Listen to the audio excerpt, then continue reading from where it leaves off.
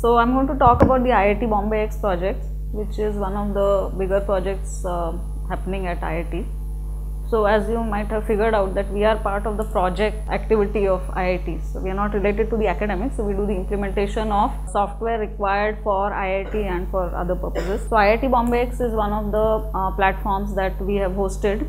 That's a platform which is for uh, MOOC uh, that's I talked about it is for massive open online uh, uh, courses. Some of you or in fact i by now i think all of you should have attended a course on some platform like say coursera or edx. Anybody who has not attended a course on uh, udacity coursera anybody attended a course on edx? Okay good number. So yeah edx is uh, a platform in the same league. So our iit bombay x platform is based on the open edx platform so this is what uh, the site looks like, very patriotic looking homepage. Okay, what is uh, IIT Bombay? Actually, this is an old presentation. Earlier, I used to talk about uh, what is MOOC, what is IIT Bombay and all that. But since more and more students are attending courses on similar platforms, there's no point in really talking about the platform per se. I would rather focus on what we are doing here and maybe take you towards what you will be doing when you are with us here. So what are we doing on top of what OpenEdX has done? So OpenEdX is an open source platform which is available for anybody to install and get started on it. So we have our own installation of OpenEdX. We have customized it for Indian requirements. Okay, so this was part of a larger program to make online learning available to all Indian students. So the customization is one part of it and the other thing that we found was that the assessments that were available in the OpenEdX platform were not suitable for all kinds of learning needs. So most of you would have attended like uh, a course and it would have questions like a multiple choice question or the conventional type of uh, questions or the most that it has is like a essay type question.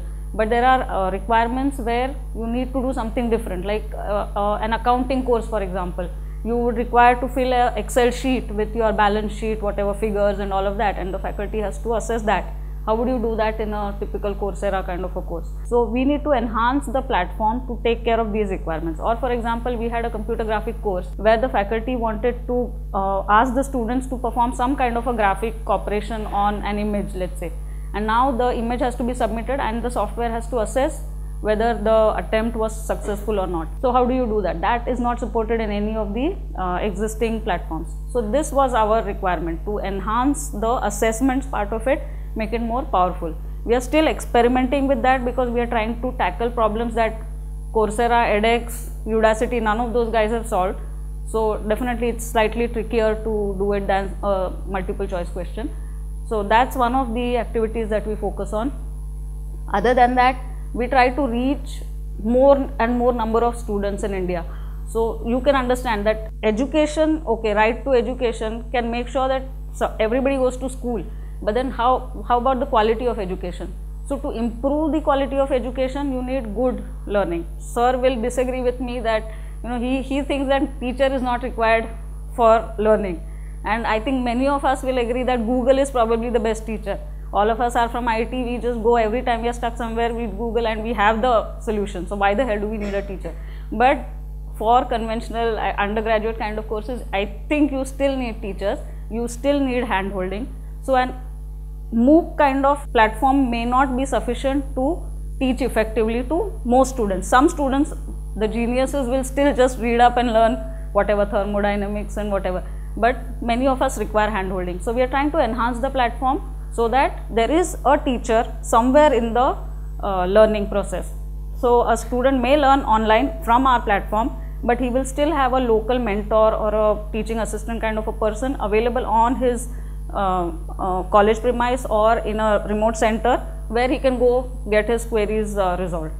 So, those kind of enhancements we are trying to build into the platform uh, by introducing a blended mode of learning. So, online plus a class to class, face to face kind of classroom uh, interaction. So, these are some of the things that we are trying to do. So, what is it I told you, why is it needed? There is a large need for quality education to uh, reach uh, all the Indian students. Uh, where is it? It's hosted on our site. Who created it and who owns it?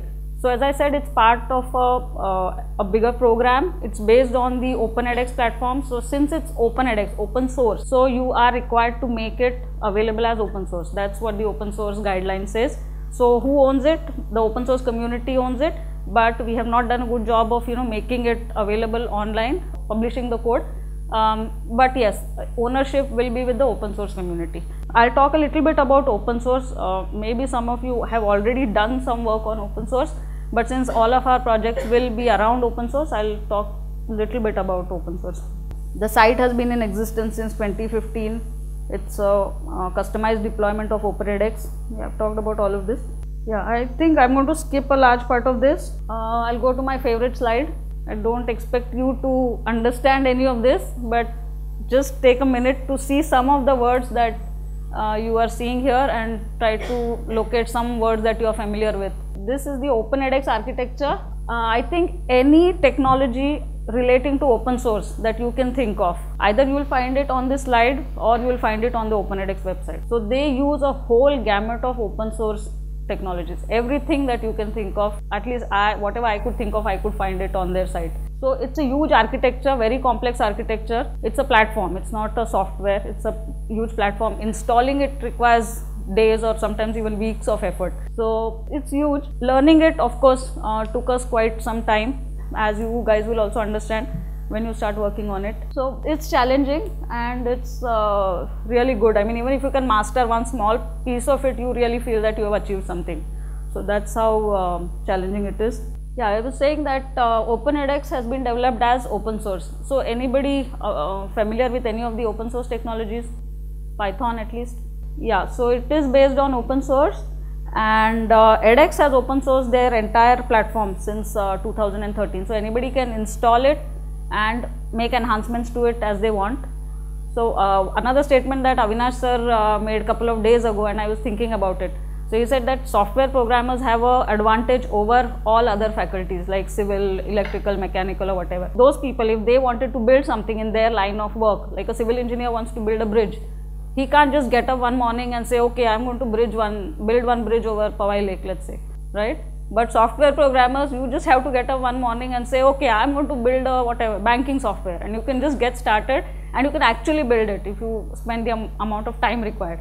So that's what he said and I thought about it and later I, I realized that today that is possible. Maybe five, ten years ago, there was still one slight hitch and that is the licensed software that you require to run your application.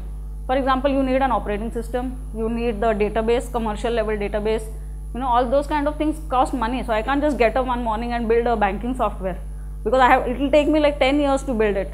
But with open source i could just pick up stuff from all over the world. Mysql is available for free. Uh, your messaging software is available for free. Operating system is available for free. I don't have to pay for anything right? I just have to focus on the business logic. I build it and i can have a banking software of my own or whatever else i wanted to build so that's the good thing about open source. Open source uh, technology per se is picking up in the industry. Why I think uh, students like you should know an open source technology. Let me say, now how many of you exercise? Offbeat question, only one person, okay. So people who exercise, I, I started exercising some months ago and I realized once you start exercising, suddenly your day-to-day -day activities become much easier once you have started exercising the initial few days of your exercise are very difficult but once you start you get into the groove your day to day activities become much easier it requires much less effort. So open source software is like that. Initially you will struggle like anything. You won't find any help anywhere okay? Forums you will not find anybody answering because people are busy writing their own software. They are they don't want to reply to your own thing, your own your problems rather. There is no formal documentation. Like you would have say java or any of the other technologies you have huge amounts of documentation. In open source people just write software they forget or they don't bother to write the documentation about it. Even if it is there it's not really very good. So every time you have a problem you have to like struggle and fix it on your own. But once you get into that habit of solving your problems on your own without getting any help without documentation afterwards all your other technologies will seem much easier for you.